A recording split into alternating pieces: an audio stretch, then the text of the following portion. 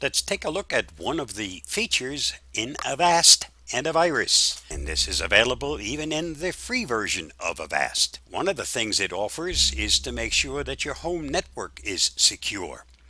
We do that by going to the menu, then to the settings, and under settings we want to select components. Scroll down until you see the Wi-Fi inspector. Click on this down arrow and this gives you a greater understanding of what the Wi-Fi inspector does.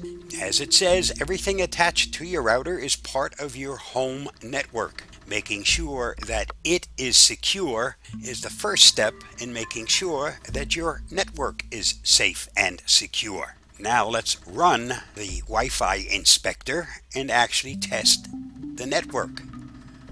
Go into protection, click on Wi-Fi inspector. It gives you two choices. If you're at home, you will choose the home scan, which checks your home network. That's supposed to be safe. This is the place where you can do your banking and your shopping in relative safety. It can also use this to check on a public or open network to see just what vulnerabilities exist on that network.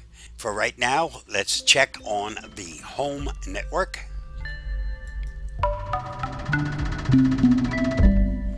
And as I said before, this will test everything that is connected to my home network.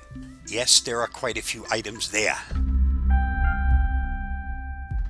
It'll take a while for this to finish, but once it's done, it'll let me know if there are any vulnerabilities, and if it finds any, it should also tell me how to fix those vulnerabilities.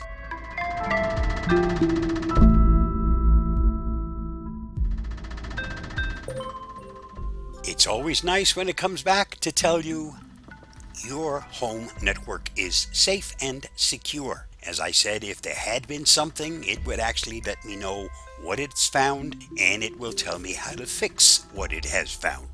Just one more feature within Avast that makes sure you are safe. Stay safe, be free. I hope this helps.